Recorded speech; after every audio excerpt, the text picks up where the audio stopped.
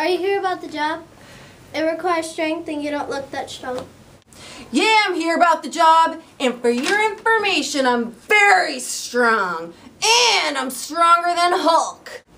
Excellent. The job we need you for is demolition derby driver.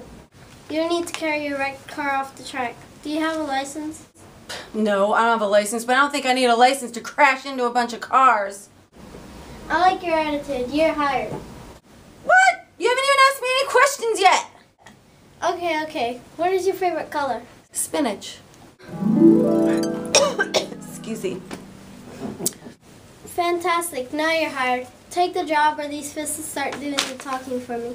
Fine, I quit. Good. You look like a big troublemaker, and I run a very orderly demolition truck. Get out of the office!